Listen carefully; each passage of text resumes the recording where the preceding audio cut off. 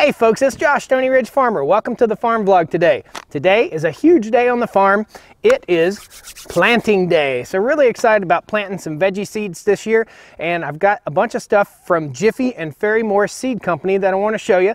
This is our tomato greenhouse and it has very large peat pucks. And the way these things work is you put water on them and they swell up and we'll show you all that. And we also have these here which are for starting vegetables also but they're a little bit smaller puck.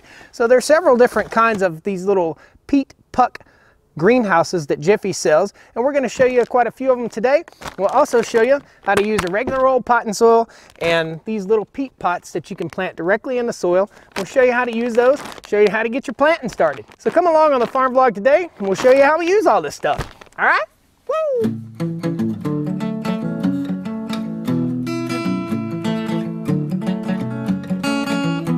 Stoney Ridge.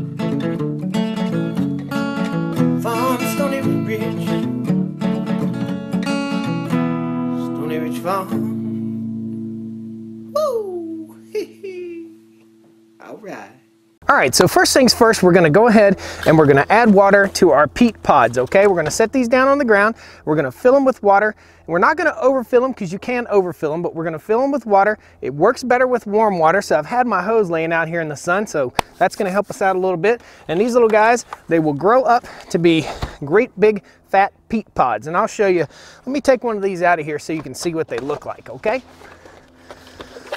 All right, you slide the little case off here.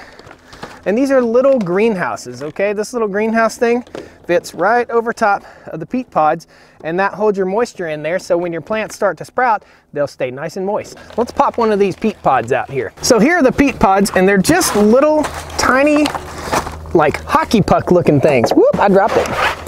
They're very tough too. They're little tiny hockey puck looking things and they look like just compressed peat moss. That's all they are. And when we add water, they'll go from this size right here all the way up to about that size. Guys, in case you're wondering, this is Lexi. Lexi is our German Shepherd pup. She's all black, beautiful little dog. Go ahead and lay out all three trays here, and then we'll turn the water on, and you'll watch the miracle happen.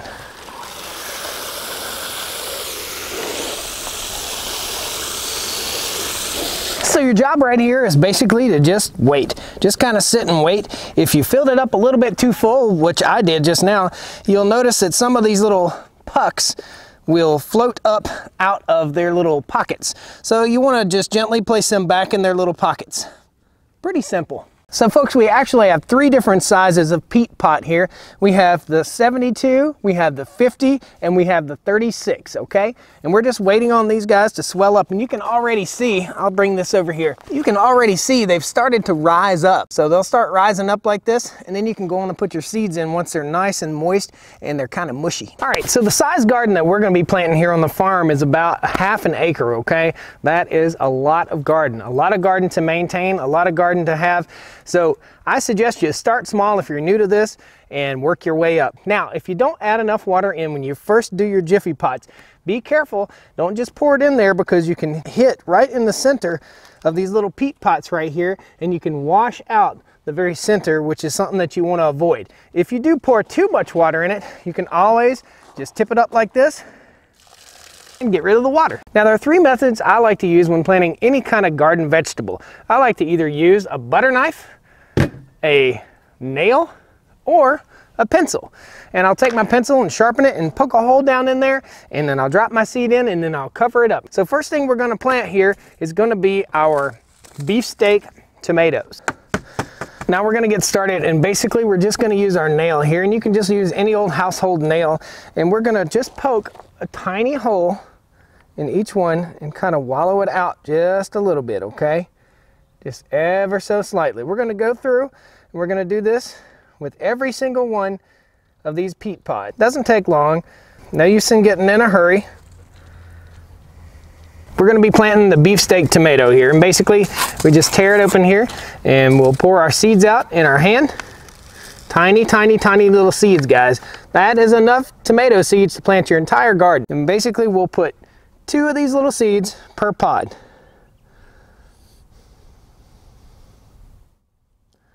We'll continue to put the seeds in until we're done. We'll go in a systematic manner. In other words, if you're gonna do a row, do a row all the way across or do a row all the way down. So we're doing one row at a time, all the way down here, and then we'll label our little greenhouse beefsteak tomato, okay? Now, if you drop seeds down in there, which you will do, it's good to have a towel sitting beside you so you can dry your fingers off, but you're gonna drop some seeds down in there. Do your best to retrieve those seeds. If you don't, you're gonna have little plants sprouting all over the little greenhouse here. Now don't worry, if you don't get them all the way down in the hole the first time, you can always tuck them in, take your little nail and you'll push them down into the hole. Guys, this is the point where I asked you to click that like button. If you like what you're seeing, if you're learning a little bit, click that like button. Leave me some comments down there, questions, comments, concerns, anything.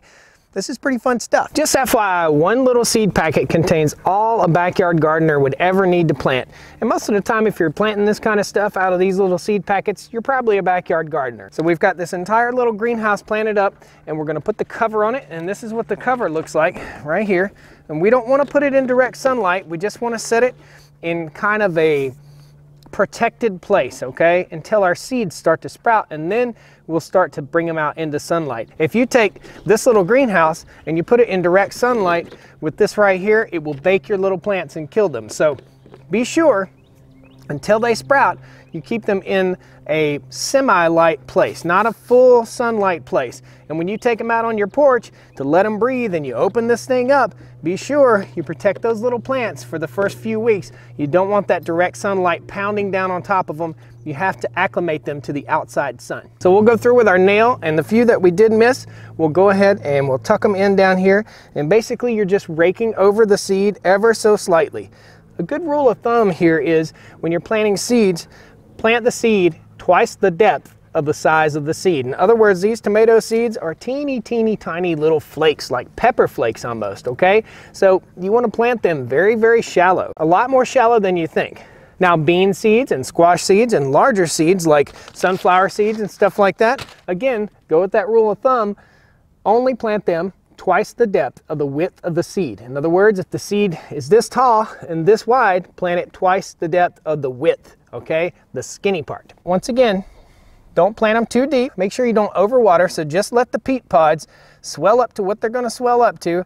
If there's still standing water in the bottom, try to pour that water off or leave them uncovered for a day or so so that that water puddle dries up. You don't want a big water puddle. You don't want them to be drenching wet because if you leave them like that, it'll promote mold growth and you don't want that. Something everybody should know is that there are mold spores in the air. In the air that we breathe outside, in the air that we breathe inside our homes, there are mold spores and there are yeast spores. They're always out there. They're always out blowing around. So be sure you don't overwater get these things too moist, too wet, because that'll kill them just as quick as no water will kill them. So we used about half our seeds and this is the 50 pack. 50 tomato plants is gonna work my butt. I'll be giving some of these tomato plants to my neighbors and your neighbors always appreciate that. So if you're outside and you're working and your neighbor sees your garden, you give them some tomato plants, they really appreciate that kind of thing. So we'll put the lid on this and this is ready to go inside the house. So you can see these swelled up nicely and they're nice and big, but these didn't swell up all the way. So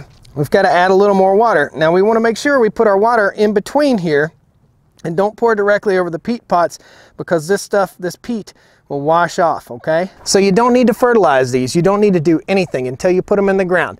These peat pods contain enough nutrient to get your seeds started and to grow the plant up. You know, I've seen them as tall as six inches, so they're good to go. They're ready to go. You don't need to put fertilizer on them. So we're gonna add a little more water very gently, kind of in the area right there. And you can see those peat pods starting to swell. Pretty cool how they swell up like that. So folks, I did a little video on this last year and Jiffy Ferry Morse sent me a bunch of seeds this year and sent me these products to show you. I wanted to let you know they've come out with a new product called the So Easy, okay? And this is for stuff that has really tiny seeds. So I don't know if you've ever sown lettuce before, but they have very, very tiny seeds. And so do tomato plants. So this is a little bit easier way to sow your tomato plants. They're called So Easy. And these are two different varieties. This is the Roma, which we love in our sauce. And this is the Independence Day, which I have no idea. But I guess you probably harvest them on the 4th of July.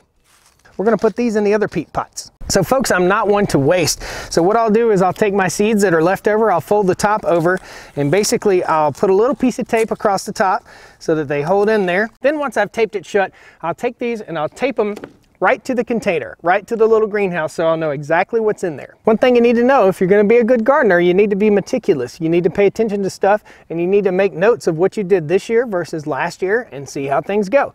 You can make tiny adjustments if you make notes. So it's a good idea to make notes if you're gonna be a good gardener. Now, if I'm gonna sow two different types of seed in a greenhouse, I'm gonna label what side I put where, and then I'll take my little Sharpie right here and I'll draw a line right across and I'll put an arrow that says, this is on this side and this is on that side. And I'll put a left and a right and I'll write that on the lid and I'll write that on the sides and that way I won't get confused. You can't really see the black Sharpie, so get you a little roll of painter's tape or masking tape or whatever like that and put a left and a right or a A and a B or a C and a D or whatever you want to put that lets you discern between this half and that half. Cool? Now here's one that the seeds didn't fall down through there. So I'm just going to take my nail here and I'm just going to push them down. And it's just that simple, okay? And that, that's the pointy part of the nail. Then I'll take the flat part of the nail and I'll pat them in there. That's pretty much good right there.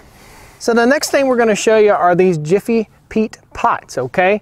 And these pots are made of compressed peat moss and they're pretty cool, pretty simple. You can plant this directly in the ground and the roots will penetrate right through it. It's biodegradable. It's awesome. So we'll show you this real quick. So we're not going to do our transplant today, but we're going to talk about it a little bit. So we'll take our plant starter mix here and we'll pack it down in there nicely and we'll make out a little hole and we'll drop our peat pot, our puck down into there and pack it down in there nicely and make sure it's watered good and we'll put it in a Jiffy plant tray. And we'll show you that tray. We'll show you everything you need to know in the next video when we go to transplant our tomato plants and our other plants into larger pots.